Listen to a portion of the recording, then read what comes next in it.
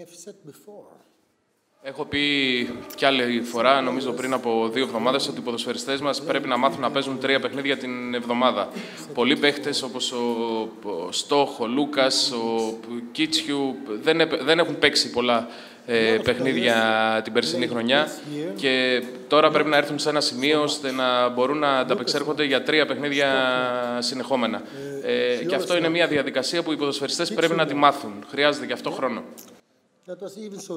Γι' αυτό το λόγο ακριβώς δεν αγωνίστηκε σήμερα ο Τζαβέλας, ο Νίνης. Ε, είχαμε και το Λίνο με τον Λάζαρ που προέρχονταν από so Lino is coming back from μακροπρόθεσμους τραυματισμούς, long injury. μα, μακράς διάρκειας. Ε, είναι μια διαδικασία που, που οι παίχτες πρέπει να τη μάθουν. Νομίζω ότι είναι τρία παιχνίδια που πρέπει να... fit enough. τη βδομάδα. Ο Πάοκ δεν κάνει πολλές ευκαιρίε πέρα τη ομάδα, όχι πάρα πολλοί δυνατέ. Αν συμφωνεί με αυτό, που νομίζω ότι το οφείλει. No, I think we had. Uh, Ε, καταρχήν νομίζω ότι κάναμε και σήμερα ευκαιρίες και πετύχαμε και ένα πολύ όμορφο γκολ, το οποίο ήταν και ό,τι ωραιότερο είχαμε να δείξουμε στο παιχνίδι. Όχι, Νομίζω ότι κάναμε ε, ευκαιρίες. Αλλά σας λέω και πάλι ότι οι ποδοσφαιριστές πρέπει να είναι α, πολύ καλά σε φυσική κατάσταση. Είναι καλά στο να παίξουν ε, έναν αγώνα, αλλά πρέπει να γίνουν καλύτεροι. Πρέπει να είναι πιο φρέσκοι, να μπορούν να παίξουν απέναντι σε μια καλή ομάδα όπως είναι ο Πλατανιάς, σε μια ομάδα που ε, έχει ως υποχρέωση σήμερα να παίξει άμυνα και αυτό ξέρετε πολλές φορές είναι πιο εύκολο από το να πρέπει να, να κάνεις επιθέσεις.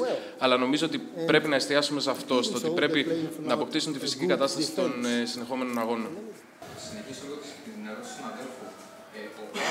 Ε, ο Πάοκ έκανε ευκαιρίες μέχρι να πει το πρώτο γκολ. Ε, και, σ- και σήμερα και την Πέμπτη μέχρι να δεχτεί την Πέμπτη. Το γκολ σήμερα μέχρι να το βάλει. Δηλαδή, εξόδεψε σήμερα ένα ολόκληρο ημίχρονο χωρίς καμία ευκαιρία. Αν αυτό, γι' αυτό, σε αυτό συμφωνεί και αν υπάρχει κάποια εξήγηση. we have even so chances in the first half. Είχαμε ευκαιρίες ακόμη και στο πρώτο ημίχρονο, παρότι δεν παίζαμε καλά, ε, είχαμε ευκαιρίες. Δεν συμφωνεί.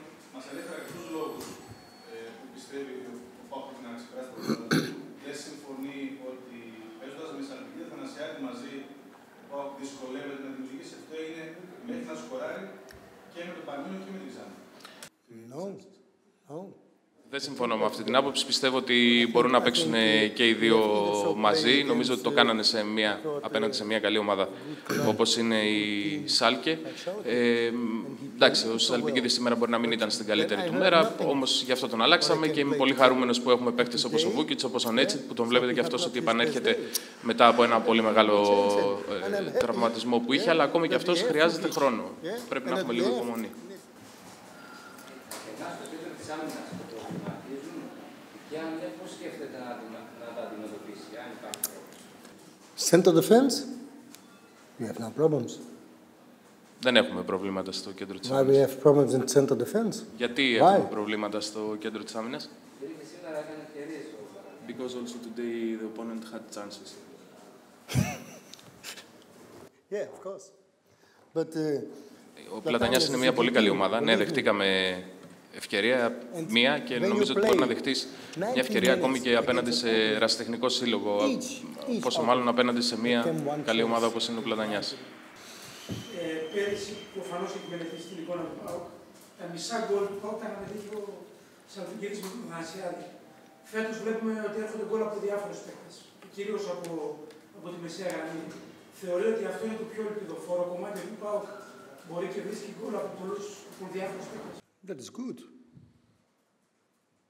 Νομίζω ότι είναι ένα πολύ καλό στοιχείο αυτό για την ομάδα. Φυσικά χαίρομαι όταν οι επιθετικοί μα πετυχαίνουν γκολ, είναι πολύ καλό για αυτού. Αλλά ε, νομίζω ότι είναι πάρα πολύ καλό να παίρνει γκολ και από άλλου ποδοσφαιριστέ. Επίση, αν σκοράρει μονοδιάστατα με του επιθετικού μόνο, ε, είναι πολύ εύκολο για την, ομάδα, για την αντίπαλη ομάδα να σε αντιμετωπίσει. Είναι πολύ πιο δύσκολο όταν έχει και επιθετικού και ακραίου και μέσου, ακόμα και αμυντικού που πετυχαίνουν γκολ.